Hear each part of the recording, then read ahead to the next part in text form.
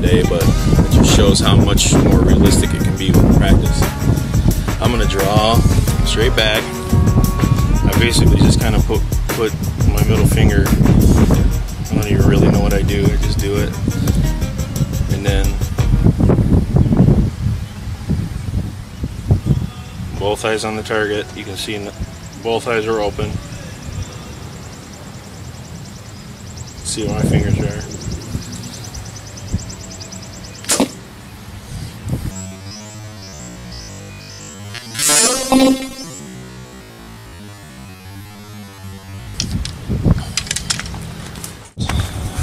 So now, now you saw like how I shoot. I'm gonna go back yonder and I'm gonna I'm gonna turn the camera around and put it on the target, and then you just see the arrows go into the target. And again, I'm gonna aim for the center. Probably it's probably five or six inches um, in the center of the target. That's probably half the size of a of a um, of the kill zone of like a three-year-old buck. So um, anywhere in that's going to be good. And again, I always practice with the broadheads that I'm going to be hunting with. Um, so every shot that I'm going to take right now is going to be the 125 grain Thunderhead. I just take a pack and dedicate them to practice, and then I put the fresh ones on. And then I recommend shooting like even a brand spanking new one I recommend putting that on your arrow and shooting it like once into a broadhead foam target. You can always hit the blades with a sharpening stone after that one shot, but but if you don't even hit the kill zone because you haven't practiced your broadhead and you end up shooting a deer in the leg or in the kneecap or something, well, you know, a wounded animal is a no-no in my book. I'd rather miss any day than wound. So um, you got to know your equipment, you got to try it, and you got to make sure it works. So here we go.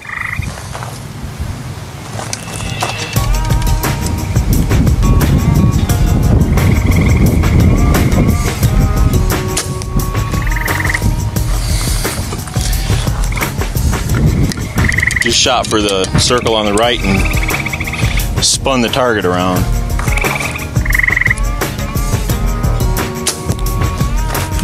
The two I just shot. The ones are in the center. The other one I was aiming for the circle on the right. And I flipped the target around. You can see this one center. That one's right on. Got to give some props to Rinehart too.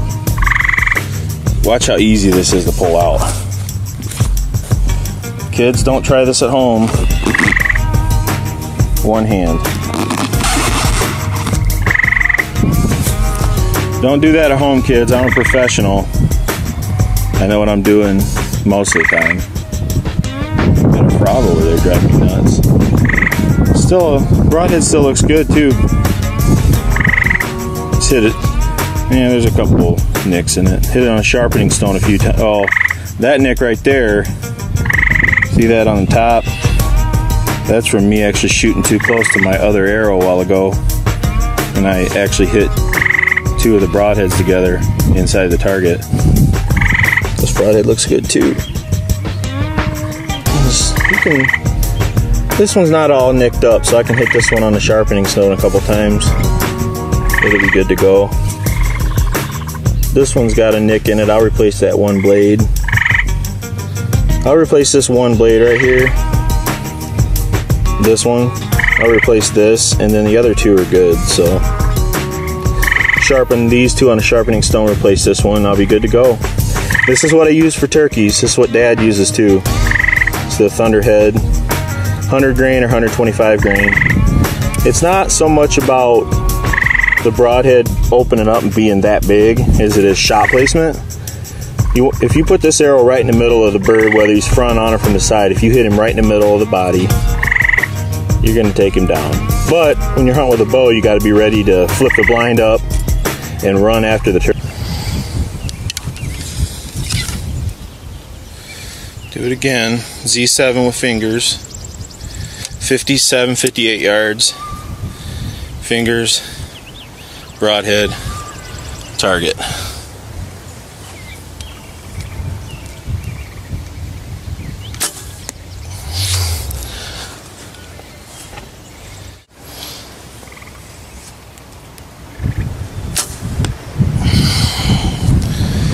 We'll see where we hit.